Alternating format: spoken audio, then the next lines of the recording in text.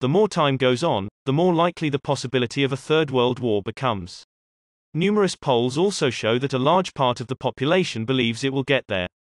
This is therefore the most difficult historical moment since we were born. But if you've set aside money for tough times, those can make a difference now. In our main course, we talked in depth about how to create a plan B, even in the event of war. And today we will see some points. You have to organize yourself on several fronts. First and foremost, you must be sure to protect your money. In the event of war, the loss of value of banknotes is very fast. There could be drops in value of as much as 30% in a single day.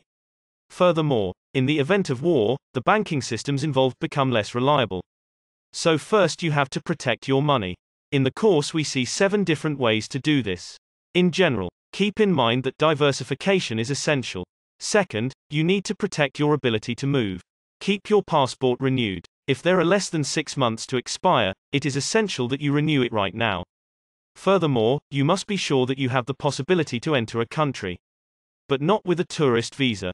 You must be sure that you have the legal right to enter it, with an appropriate visa. If you have very high resources, you could also consider investing in a new passport. But be careful, because there are many scammers who push you to invest in passports that will never be issued to you in time.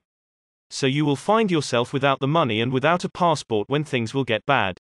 Always contact an international tax lawyer, who will always be honest, being bound by the code of ethics. In fact, if a lawyer cheats you, he is instantly disbarred and can no longer be a lawyer. And no lawyer would throw away 10 years of studies and 30 years of career. While many who are not lawyers simply take the money and run away.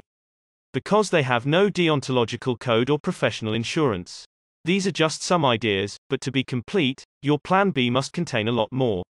Visit our website to find out about our services, speak to an international tax lawyer, and find out about our courses.